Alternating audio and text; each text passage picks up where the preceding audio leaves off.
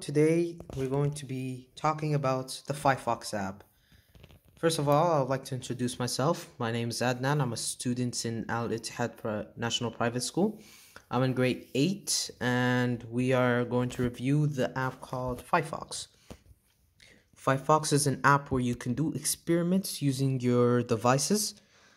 And what the really what really the app's trying to say is that you don't really need any special tools or anything like that to do simple experiments. So like as you can see right here, we got lots and lots of experiments.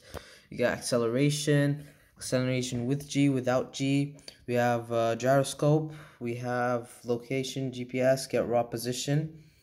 Uh, we have magnetometer, and we have lots and lots of other things here for you to experiment with. What today we're going to be doing sound. We're going to be seeing what frequency does phyphox pick up the most? Well, where does it start to pick up? We're going to be starting at 66 hertz of signal frequency.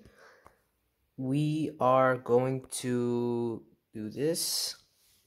So this is called audio amplitude.